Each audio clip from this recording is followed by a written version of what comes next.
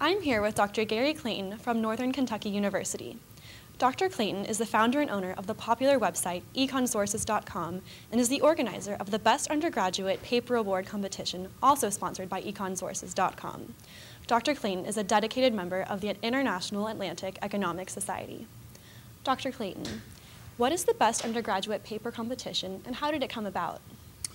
Well, let me tell you, first of all, how it came about.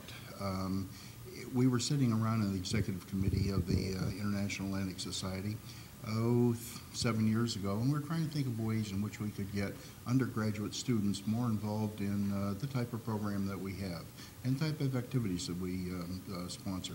So we just we talked about having a, a competition where students, uh, undergraduates, no matter where they were in the world, could enter a competition and uh, judge their papers, and that's where we are now been more successful than we ever imagined. Uh, right now, it's probably, it is definitely the uh, uh, premier uh, competition in the world for undergraduate economic papers.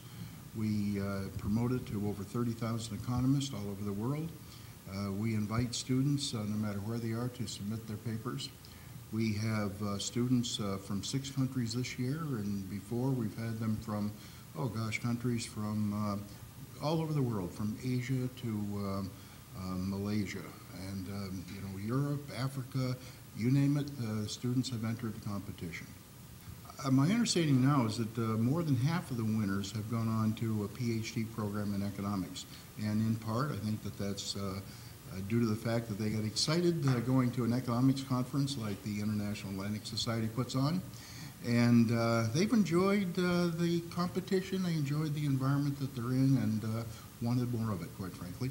The universities will submit, you know, forward it to their faculty members, and uh, then what all the students have to do is uh, um, ask their college or university if uh, they would be willing to be sponsors for them. Uh, we bring the students here through no cost to themselves.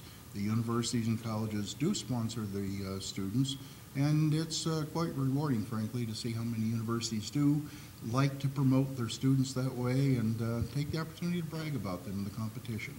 So they'll submit their uh, papers by, uh, it'll be June 15th, and uh, when they come into uh, me, then I coordinate uh, the judging activities from there and sort them out, and that's when the work begins because there's an awful lot of papers and they're all good.